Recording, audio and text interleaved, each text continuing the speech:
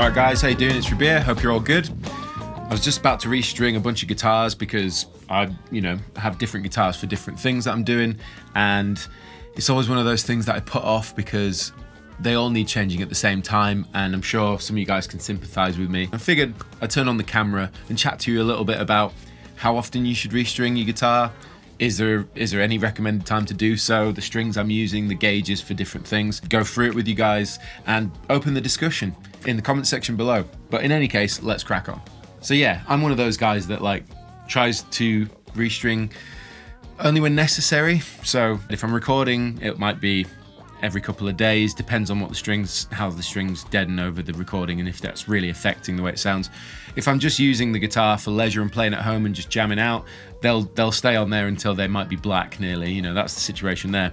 However if i'm gigging i will restring every gig because i sweat a lot and i don't trust a couple of gigs on tour over the years with Toska where I decided to hold on to the strings for another gig and my sweat had made enough of a job through them that they broke and it was just a pain in the ass and really annoying situation. So to avoid that happening at all, I, I, put new strings on for every single gig. First things first, one of the things that I like to use that I'm sure most of you guys use is a string winder, but this one in particular that you can see on the close-up, it's an old D'Addario one, but for some reason they stopped making them like this. It just feels much better in the hand to me than the newer ones. Next thing is of course the strings. So I'm going to be using uh, NYXL 10 to 52. I use these for anything in E flat or E flat standard or drop C sharp and I'm restringing the 55 custom shop Strat first. I actually really like restringing Strats because of the type of uh, machine head they've got on them. The way you like thread it down and then bend it round and then just string it up. Really, really easy to do. The other cool thing is that when you unwind, they just pop straight out and they look like that. Strings are off, we're about to put the new ones on, but just whilst I remember, uh, a few people asked why I've changed the pick guard. The main reason is I'm testing out some new pickups and as I'm sure many of you guys know, aluminium pick guards have more of a high-end roll-off and they generally change the sound of the pickups a lot. Something else that I use quite a bit, but not all the time, but it is really cool. And also it's because it was a gift from Andrew Groves from Arcane Roots back on the first uh, tour with Toska ages ago and he gave me this. It's a string stretcher. And last but certainly by no means least, this stuff. GHS Fast Fret. I have used this since I started playing guitar. Uh, it was in my dad's guitar case when I picked up the guitar to try it. Uh, it's kind of a problem actually because if I don't have it at a gig, it can be a bit of an OCD thing where I'm like, it's going to go wrong because I don't have the fast fret. One thing I was going to go through real quick that when I'm deciding how much excess string to use to wind round the machine heads, basically I stretch it out so it's taut kind of and meet up with the first machine head that I'm going to, you know, for this string. And then I count to the next machine head and then the one after and then you do that sequentially down the strings so so there it is like that clip off the excess string thread it through. This is particularly just for strats, by the way. Um, and then use the string stretcher so you can see how it works. Equally, we can use the D'Addario one, as you can see. So you get it, and then you basically hook the string under, and now I'm just going to repeat this process for, you know, the whole guitar.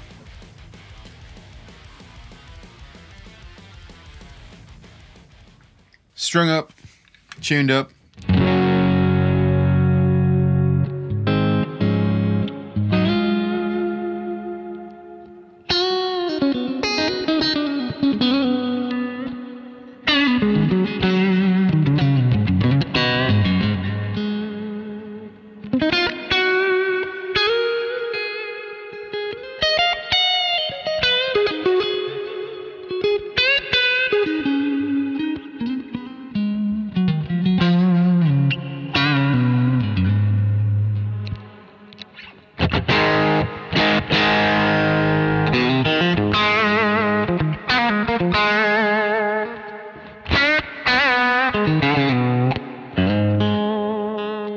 remember reading once Steve Vai interview or something saying that he changes his strings after every eight hours of play.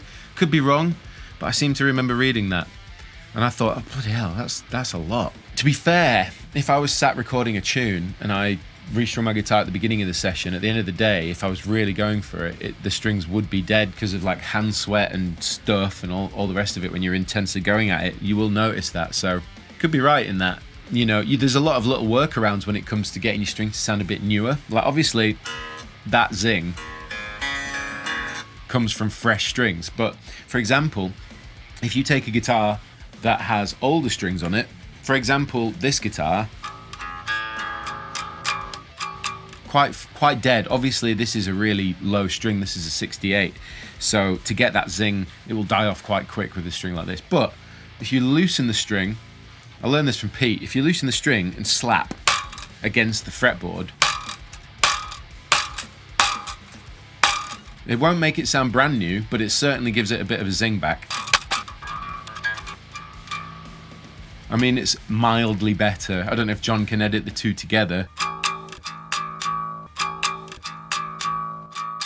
Right, the next uh, guitar that I'm going to restring is my ML3 Bea Sig from Chapman. I use a specific gauge for these. I've managed to find a box of some pretty funny packs of strings, including some of the ones that I use from D'Addario. Back in the day when I used to want to tune to drop B, I used to use a normal scale guitar, my N4, and I couldn't understand why it was always so flappy and I was like, I need to get thicker strings. I didn't even think about scale length. I didn't know about scale length. I just thought, I'll get thicker strings. And so I used to use these these are the GHS Boomers. The Zakk Wylde set, I think it was, 11 to 70. That would just about get me the right feel that I wanted. But honestly, they're way too thick to be putting on a Floyd Rose. I actually crushed so many Floyd Rose blocks trying to trying to clamp these in. In any case, I actually use now a custom set from D'Addario. They were kind enough to make me a custom set, so um, these are all NYXL singles put into a, a, pack just for me, which is really kind. These are 14 to 68, which is what I've used um, for my baritone guitars now for a few years with Toska. Because honestly, in the Toska stuff with the baritone, there was no lead. So I just needed to be able to play chords and riffs and it stay in tune and be nice and tight and intonate properly. So that was how I got around was basically taking, I think it was half a seven string set to get the right gauges mixed in with, I think it was 12 to 60 set, and then I used some of the seven string sets to, to get the gauges how I wanted them in, in terms of tension.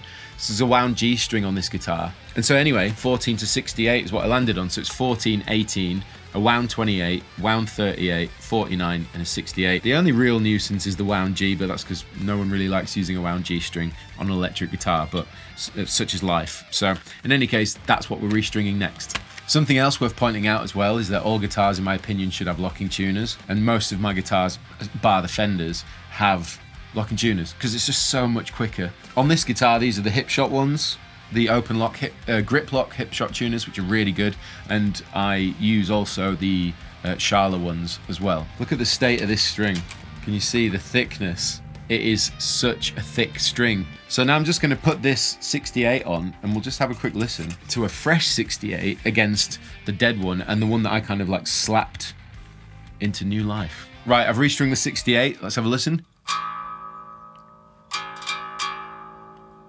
Nice and new sounding. It's got a bit of a zing.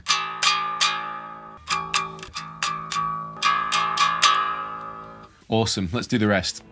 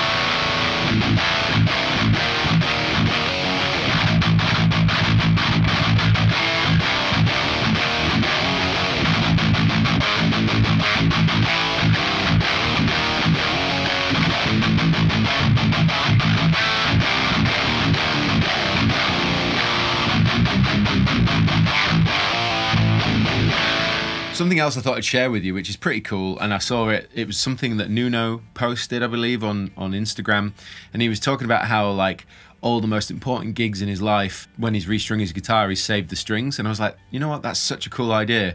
Another reason to absolutely, you know, worship the dude when it comes to being a guitarist. So I did the same thing. So I've got my strings here that I used for the Stormzy uh, gigs at Reading and Leeds. Well, actually, just the Reading because we swapped them out for the Leeds gig, but these are the Reading ones. And I just thought, yeah, you know, that's such a cool thing that I can, you know, say that these strings played that intense gig that I had.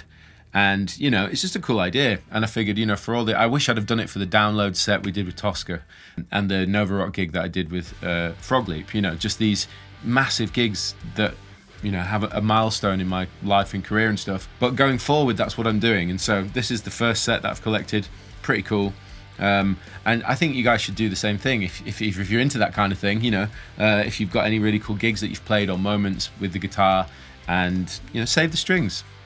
It's cool. Okay, so I know I said I was going to restring four guitars, but I'm not. I'm going to restring three. I was going to restring my Relic, but the strings aren't that old, and also uh, it's just an E flat, but uh, so it's 10 to 52s. There isn't really much else to say other than, you know, the cool thing with this guitar is it has the uh, speedy loaders, these things, which if you've seen an old video I did when I was on tour with Dorje, talk about it, but basically you thread the string through the end of these pole pieces here and they come out of the saddles and then you just string it up like a string through. Some people say it's not very accurate, but I've never had a problem in the whole time I've used them. They're called Speedy Loaders. I found them on eBay for 25 quid.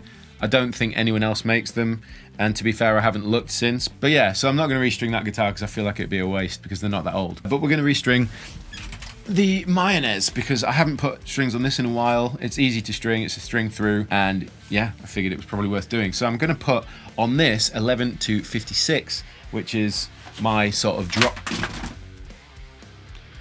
Whoops.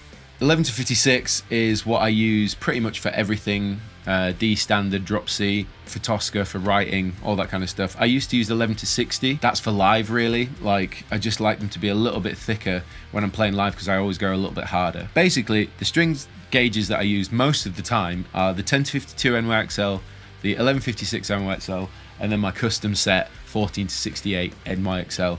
Those are the kind of main strings that I use. But yeah, let's restring up this beast. Again, Hipshot grip lock, um, so nice and easy. This guitar also features the Hannes bridge, which is a string through. If you've ever seen one before, they're really interesting to look at. Um, and on the back, you've got the brass block. And basically, it's like just a string through system.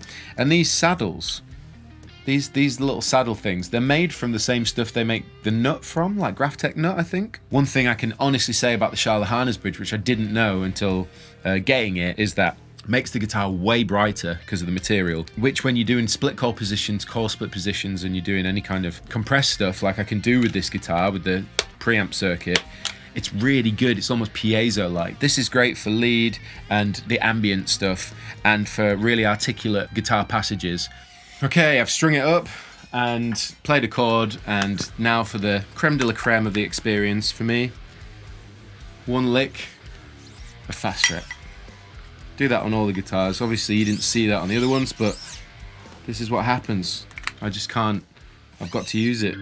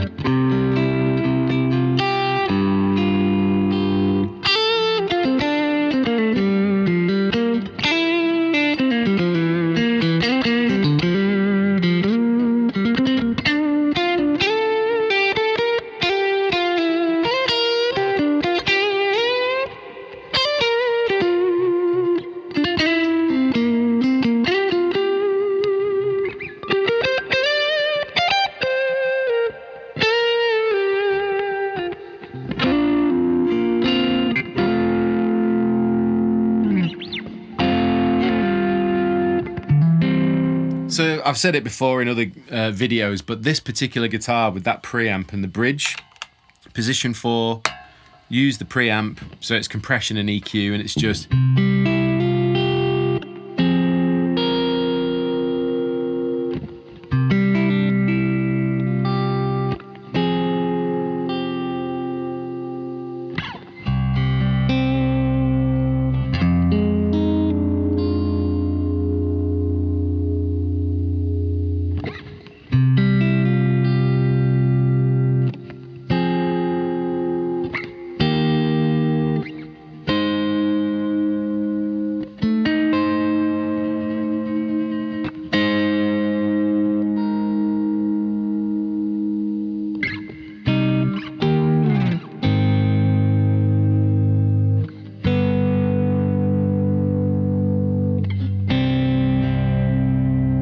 So one of the things I like most about restringing this guitar is getting a tone like that and then playing that for a bit because it sounds so good with fresh strings. Giving it a lick of fast fret if that's your thing, and uh, just getting getting going with a fresh set of strings on your guitar. It is great. So let me know what you guys do in the comments section. Have you got any like little hacks or anything you do with your restringing or if you tried any of these gauges before or anything that you think works for, you know, D standard, drop C, drop A, all the rest of it. And if any of you use fast fret, and if you haven't, give it a go. I saw a comment recently uh, someone commented on my Instagram basically saying like, if there was one uh, product Bea can honestly say he's endorsed his entire life playing guitar, it would be Fast Fret, and that's absolutely true.